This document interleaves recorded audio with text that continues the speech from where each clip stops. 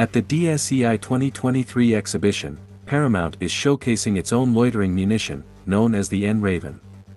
A recent report indicates a substantial growth in the loitering munitions market, with an expected increase of 525% between 2020 and 2024.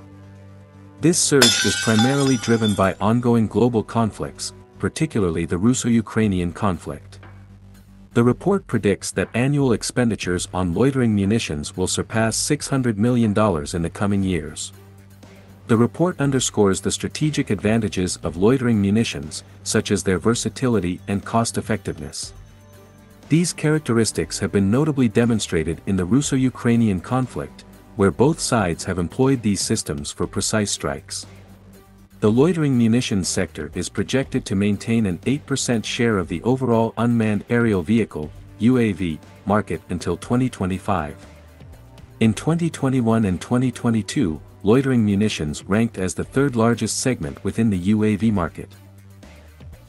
North America is expected to be the primary contributor to the loitering munitions market in the next decade. However, Europe is witnessing a significant increase in investments, with a projected rise of more than 2,000% from 1.39% to 36% between 2021 and 2023.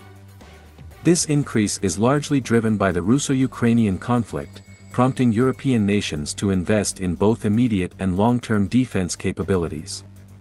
Amidst this market growth, Paramount's N-Raven is being featured at the DSEI 2023 exhibition in London. Designed to accommodate both asymmetrical and symmetrical warfare scenarios, the N-Raven aims to facilitate technology transfer, allowing customer countries to domestically produce it. Steve Griessel, CEO of Paramount Group, commented, the N-Raven aligns well with current market trends, offering advanced capabilities and economic benefits.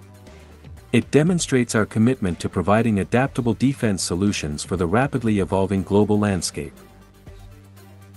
While it is evident that loitering munitions will play a significant role in future defense procurements, the specific role and competitive position of the N-Raven in the market remain to be determined.